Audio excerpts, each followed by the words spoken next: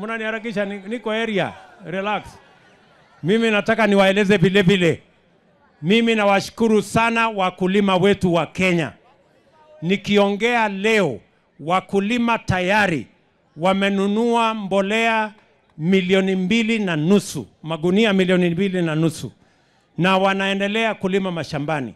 Leo vile vile watu wa Kenya Seed wananiambia wameuza kilo milioni mbili zaidi kuliko last year ya mambo ya mbegu, kuhakikisha kwamba ile niliwaeleza, niliwaeleza hii mambo ya mbolea ambayo inauzwa shilingi elfu saba tukichukua usukani tutaipunguza.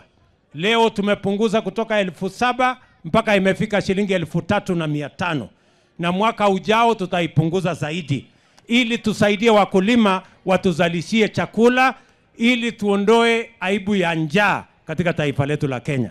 Nyinyi mnaelewa unga imetusumbua, si unga imetusumbua, si unga imetusumbua, na niliwaeleza ni kwa sababu ya kukosa mpango ndio mambo ya unga ilienda mpaka shilingi mia mbili na thelathini. Saa hizi tumeteremsha imefika 179.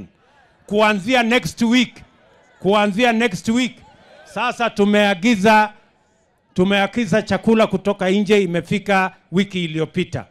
Sasa kuanzia next week hiyo bei ya unga itateremuka, itafika mia moja na hamsini katika taifa letu la Kenya hapa. Nyinyi mnanielewa? Na mnajua wakati tunaagiza chakula lazima tuagize ya kutosha, ndio tuhakikisha kwamba tusisumbue wakulima wetu, kwa sababu hii ya kuagiza ni temporary. Ile ya kweli ni ile tunazalisha na wakulima wetu hapa Kenya. Tunaelewana jameni? Ndio mimi ninataka niwaulize nyinyi watu wa hapa Kiambaa, hata mtu akiweka sufuria kwa kichwa mwaka ngapi, bei ya unga itapungua? Ati kwa sababu mtu ameweka sufuria kwa kichwa?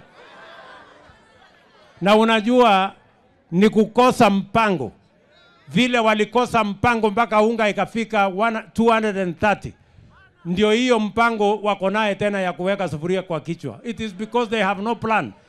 Kama ati mpango yako ya kurudisha bei ya gharama ya maisha chini ni kuweka sufuria kwa kichwa, si wewe akili yako iko kidogo? Ama niache jameni? Hata wewe mtu ya hapa Kiambaa nikikuuliza, hata uweke sufuria miaka ngapi kwa kichwa, kama chakula haijaenda kuzalishwa shambani, kama hatujapunguza gharama ya mbolea, kama hatujamsaidia mkulima, bei ya unga itapungua? Sio ni ujinga wanatufanyia hii watu. So mimi nataka niwaambie wale watu wa masufuria kwa kichwa wawache kutusumbua, watupatie nafasi, tupange na wakulima, tuzalishe chakula. Ile ingine tumeagiza itafika hapa, tutasaidiana na nyinyi, tutasaidiana na wafanyabiashara, tupunguze gharama ya chakula. Ama ni namna gani? Tuko pamoja? Na mimi nataka niwa- niwahakikishie, niliwaambia ile mtu ya kitendawili hakuna mahali ataenda. Si niliwaambia? Si tutamshinda? Na niliwambia tutamshinda asubuhi na mapema, na ndio tulifanya. Alienda nyumbani mapema. Saa hii anaangaika hati anatafuta saba. Sasa unaangalia huyu saba. Anyway, sawa tu. So mimi, mimi nataka niwaambie, tumeambia hawa ndugu zetu tuwache fujo hata kama wewe ni kiongozi ati unatafuta haki yako wewe kama kiongozi ya ubinafsi, wewe mbona unaenda kuangaisha wananchi? Unalete maandamano, unapiganisha watu, unaharibu mali ya watu, unaharibu biashara ya watu, unawakosesha watoto hawaendi shule, na wewe ati unatafuta haki yako. Hiyo ni ubinafsi, si ubinafsi? Ni ukora, si ukora? Naambia hawa viongozi jameni, hata kama mnatafuta yenu ya uongozi, wacheni wananchi waendelee na maisha yao, kwa sababu mambo ya viongozi tulimaliza tarehe tisa mwezi wa nane tukapiga kura. Saa hii wacha tupange mambo ya wananchi. Hawa vijana wanataka tuwapangie ajira, ni kweli ama si kweli? Si ni kweli? na wakulima tuwapange, watuzalishie chakula, tuondoe njaa, ama ni aje watu wakiambaa kana tiguo? Tunaelewana? Sasa tupange mambo ya kazi, tupeleke kazi mbele. Mimi nataka niwaeleze vile vile, tunajua ya kwamba hamuna maji ya kutosha, na sababu hiyo tuko na mpango kamili. Mumesikia nilitangaza ya kwamba tutajenga dams zingine mia moja Kenya, zikiwemo za hapa Kiambu. Mimi nilienda mwenyewe mpaka Ufaransa kwa ile Ruiru 2 dam ambayo iko hapa Kiambu. Kuna wakora wengine walitaka kuiba pesa yetu. Mimi nikaenda nikaonana na rais wa kule Ufaransa na pesa zetu tumerudishiwa. Sasa hiyo dam tutajenga mpya. Ninyi mnanielewa?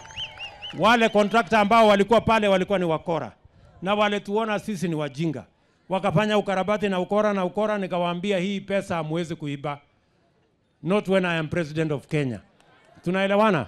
Nikawafuata mpaka kwao, nikaenda kurudisha hiyo pesa yetu. Sasa tuko na bilioni tatu ya kuanzisha dam ya Ruiru 2 na nimemwambia waziri wetu Alice aanze kupanga mambo ya hiyo damu. Tunaelewana? Vile vile damu yetu ya Karemenu hapa nitakuja kufungua hivi karibuni. Pia nimesema damu ya Karemenu, mbali na kupeleka maji Ruiru, mbali ya kumpeleka maji Juja, mbali ya kupeleka maji Nairobi, lazima pia ilete maji Thika Town na pale Wetheithie, hiyo kona yote hiyo, si nilikwambia wewe mama Matangi?